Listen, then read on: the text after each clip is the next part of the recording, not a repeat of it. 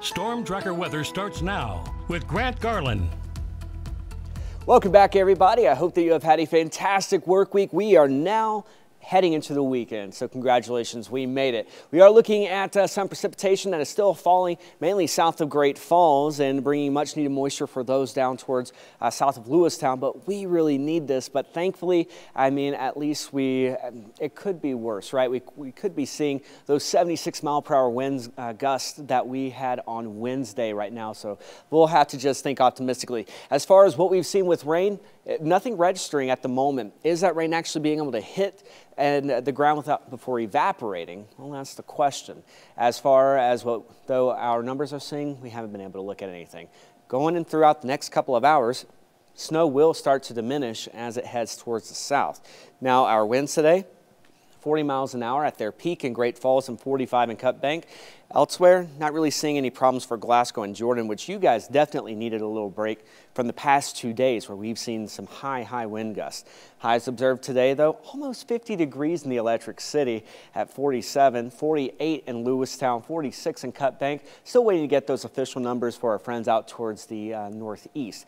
The average for this time of year is right around 36 degrees, so we're actually starting to now make a climb, and that will be the continuing trend until uh, we start to dip down in the fall of this year. Our record was set back in 1973, though, at 60 degrees when we had great films like Disney's Robin Hood, as well as I think Westworld came out. Now that was a movie that was that that's a trip. Outside right now looks beautiful in downtown Great Falls. U.S. Bank iCam confirms that. Not really seeing any pro, uh, any cars that are really going by though on uh, Central Avenue. Currently, 43 de degrees is the name of the game for us as well as Lewistown, 30 in Glasgow, and a little bit warmer, and Jordan at 36 degrees. As we head throughout tonight, clouds are going to break apart. Tomorrow we're going to see mostly sunny skies for many folks. And then on Sunday, our next weather maker is moving in and hopefully we'll be able to get some rain, some flurries from that. Continuing throughout the night, though, we will dry out, clouds breaking apart, and going into tomorrow morning, we try and see the clouds bring, uh, be brought back in rather to those in Helena, but it's still going to be a partly sunny day for you guys. The bulk of the clouds stay off towards the west. Great Falls, Havre, Cut Bank, Lewistown, and Glasgow, though, looks to be a beautiful day.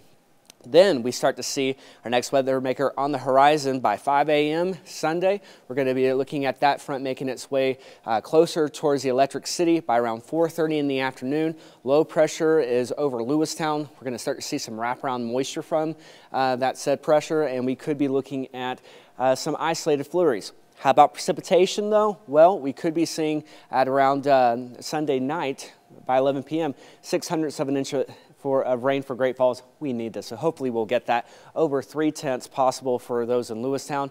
And as far as snow is concerned, not really seeing a big problem. Um, Lewistown could be picking up a couple of inches of snow, but elsewhere we'll see our next best chance of snow for the, us on Monday. 28 degrees in Lewistown tonight, 27 in Great Falls as well as Helena, and 20 uh, 6 in Hays. Throughout the next three days, clouds are going to be, uh, at least for tomorrow, clouds break apart. Then Sunday, clouds are brought back in. We're going to look at uh, isolated chance for flurries. That will be on the increase as we head into the night. By Monday, which is Martin Luther King Day, 40 degrees will be the name of the game. Look at these temperatures as we head into the next part of our work week. They're going to start to fall drastically. 25 next Friday. Tim? Thanks, Grant.